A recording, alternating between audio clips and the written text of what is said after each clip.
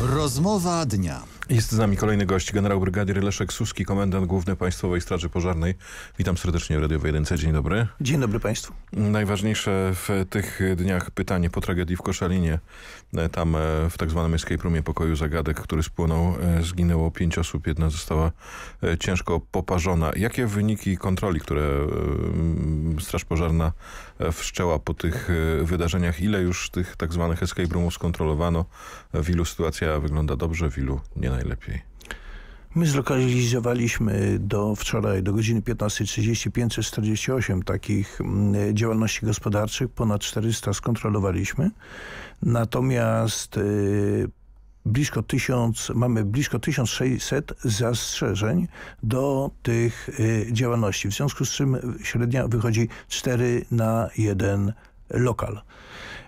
40, 40 właścicieli tych lokali zostało ukaranych y, mandatem w formie grzywny, y, grzywną w formie mandatu karnego, natomiast 60, y, 53 takie lokale zostały zamknięte. Mówił pan, że udało wam się zlokalizować. Na czym polega problem? To znaczy nie ma czegoś takiego jak oficjalna lista tego typu działalności? Taką działalność można rozpocząć i uruchomić w ciągu jednego dnia, zgłaszając do odpowiedniego urzędu prowadzenie tej działalności. Taka działalność do tej pory była zgłaszana i uruchamiana pod różnymi szyldami. Działalność intelektualna, działalność sportowa, działalność zabawowa, rozrywkowa. I y, nie ma obowiązku zgłaszania y, prowadzenia, czy chęci prowadzenia tej działalności do Państwowej Straży Pożarnej. Nie, ma, nie było obowiązku opiniowania przez Państwową Straż Pożarną bezpieczeństwa w takich lokalach jak i y, przed uruchomieniem prowadzenia takiej kontroli. Tak, nie ma y, wymagań w stosunku do sklepów spożywczych, zakładów spożywczych, zakładów fryzjerskich i innych takich a y, y, jakie zaniedbania są najczęstsze? Co, co, co wynika z owych kontroli prowadzonych przez Straż Pożarną? Bo mówił pan, że przeciętnie cztery zastrzeżenia do, do jednego miejsca prowadzącego taką działalność. Tak, są to zastrzeżenia w stosunku do nieprzestrzegania y, przepisów z zakresu ochrony przeciwpożarowej, ale przede wszystkim ewakuacyjnych. W tych lokalach było blisko 600 zastrzeżeń, do, e, jeżeli chodzi o ewakuację. To są nieodpowiednie dojścia do drzwi ewakuacyjnych, blokada tych drzwi ewakuacyjnych, ewakuacyjnych, że nie można ich otworzyć. Y, są zastawione drogi pożarowe na drogach ewakuacyjnych. Y, do budynków na drogach ewakuacyjnych znajdują się materiały palne, których tam nie powinno być. Y, to są takie podstawowe, jeżeli chodzi o ewakuację, ale oprócz tego to są y, prowizoryczne instalacje elektryczne do różnych instalacji świetnych, które no, mają uatrakcyjnić wnętrze tych budynków. Są materiały palne podwieszone pod sufitem, które są materiałami palnymi, palnymi, a nie powinny się palić i mało tego są również materiałami kapiącymi, więc jeżeli będzie pożar, będą, będą kapać. To również jest sprzęt, brak sprzętu ochrony przeciwpożarowej, podręcznego sprzętu. Uważa pan, że są potrzebne jakieś zmienione regulacje prawne, które zaostrzałyby? Akurat jeśli chodzi o ten rodzaj prowadzenia działalności, jak pan mówi w tej chwili, rejestrowany bardzo ogólnie jako działalność rozrywkowa, y, usługowa, żeby y, tych, którzy prowadzą owe pokoje zagadek przymusić do tego, żeby odpowiednio się zajęli sprawą bezpieczeństwa przeciwpożarowego?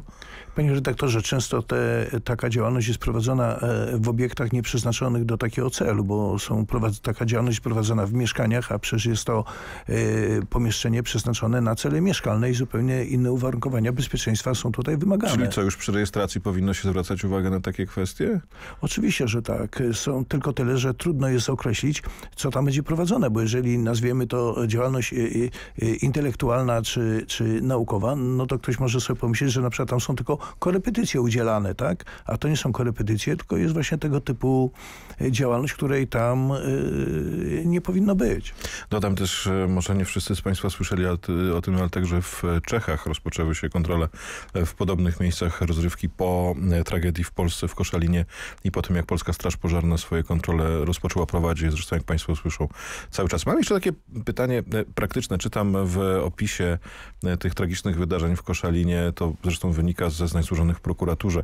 Tam jeden z poszkodowanych, ten, który ocalał, pracownik owego escape roomu, opowiadał w, w prokuraturze, że kiedy zauważył, że gaz się ulatnia, to próbował sam to opanować, próbował tam dokręcić e, butle.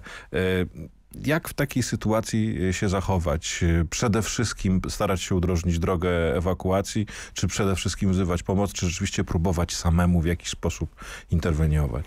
Panie redaktorze, całe pomieszczenie e, pro, pro, służące do prowadzenia tej działalności miało około 15 metrów kwadratowych. E, było w tym pomieszczeniu wydzielone drugie pomieszczenie o powierzchni 7,3 metra kwadratowego, do którego zostały wprowadzone właśnie te e, młode osoby. Budynek nie posiadał własnego w ogóle ogrzewania i ogrzewany był przy pomocy piecyków zasilanych gazowych z butli gazowych. Tam były trzy butle gazowe 11-kilogramowe. Y, te y, butle nie zostały rozerwane, nie doszło do takiego wybuchu. Jeżeli chodzi o ulatnianie się gazu, ulatnia się na ogół wtedy, jeżeli ta butla jest niesprawna, no to y, jeżeli uruchomiono ten lokal, jeżeli wpuszczono te dziewczęta, a przecież zapach gazu zawsze jest wyczuwalny, więc prawdopodobnie tego zapachu gazu nie było. No więc rozszczelnianie dopiero może przy uruchamianiu tych piecyków w nieodpowiedni sposób prowadzi dochodzenie tutaj prokuratura i policja i, no i na pewno wypowiedzą się na ten e, temat. Nie były zachowane warunki ewakuacyjne. Ja sobie nie wyobrażam, żeby odległość z kanapy do drzwi, która wynosiła tam około dwóch metrów, nie można było podejść do tych drzwi, otworzyć i te dziewczęta e, stamtąd e, wypuścić. Mm, to na pewno nie są ostatnie informacje i na, na temat kontroli w escape roomach, pokojach zagadek w Polsce. Na pewno jeszcze też dużo usłyszymy od policji i prokuratury na temat tego, jak w rzeczywistości przebiegały wydarzenia w Koszalinie. Ja przypomnę, że właściciel owej firmy został na trzy miesiące e, zatrzymany. E, ale e, pozostając jeszcze przy innych kwestiach związanych ze Strażą Pożarną, w ubiegłym roku wiele mówiliśmy o pożarach wysypisk, składowisk śmieci. Mamy zmiany, w, w, mieliśmy nowelizację prawa śmieciowego. Kolejne się zresztą szykują. Czy ten problem już jest trochę mniejszy niż był w tej chwili? Możemy się spodziewać, że w 2019 roku nie będziemy tak często o tym informować Panie redaktorze, sądzę, że tak. Jeśli tylko pan pozwoli, chciałbym jeszcze do tego pierwszego tematu wrócić. Chciałbym zaapelować do e, wszystkich państwa, którzy tutaj mnie słuchają. Proszę państwa, jeżeli...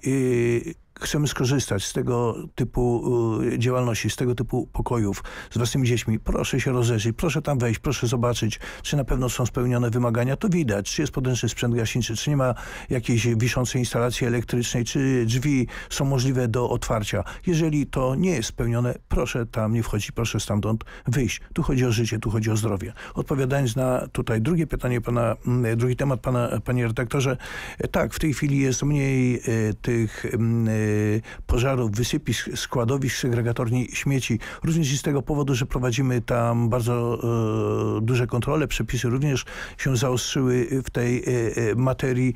Ten problem istniał od paru lat w tej chwili jest może pod tym, tak, tak bym to określił, pod y, większym y, nadzorem. Natomiast był to rzeczywiście dla nas wszystkich y, duży problem, tym bardziej, że y, nie dosyć, że tutaj jest wtedy skażone środowisko, ale y, działania ratownicze przy takich zdarzeniach są bardzo długotrwałe i bardzo kosztowne. Działania trwają tak na przykład koło Łodzi blisko dwa tygodnie. A cały rok 2018 już udało się Państwu podsumować. Jaki był to rok na tle innych? Ja domyślam się, że no, dla Straży Pożarnej zawsze jest jest trudny czas. Jak nie pożar, to wichura, jak nie wichura, to powódź i długo by jeszcze wymieniać. Y, tak, panie redaktorze. Y, y, miniony rok był dla nas pod względem pracy trudnym, ciężkim rokiem, natomiast nie był takim złym. Wyjeżdżaliśmy 501 066 razy. W roku poprzednim, w 2017 wjeżdżaliśmy blisko 520 tysięcy razy. W 16 poniżej 500 tysięcy razy, więc był dość y, taki dla nas wyjazdowy.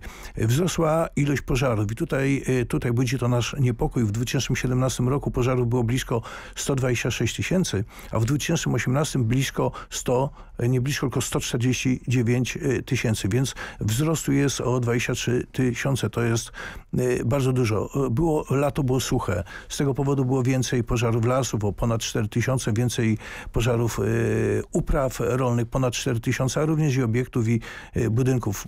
To było również spowodowane y, tymi temperaturami, ale nie tylko. Pogoda coraz bardziej w ostatniej dekadzie daje się Polakom e, we znaki. Czy jeśli chodzi o te negatywne skutki wichur, ulew, trąb powietrznych też było więcej w ubiegłym roku niż zwykle takich interwencji? W 2018 roku było więcej niż w 2016-2015, ale zdecydowanie mniej niż w roku 2017. Natomiast ten rok charakteryzował się takimi krótkimi, ale gwałtownymi okresami, gdzie ten wiatr był silniejszy. Natomiast zdecydowanie był bardziej łagodny niż rok, mówię, 2017. O czym e, opowiadał gość sygnałów dnia i radiowej jedynki generał brygadier Leszek e, Suski, komendant główny Państwowej Straży Pożarnej. Bardzo dziękuję za rozmowę. Bardzo dziękuję Państwu. Była to rozmowa dnia.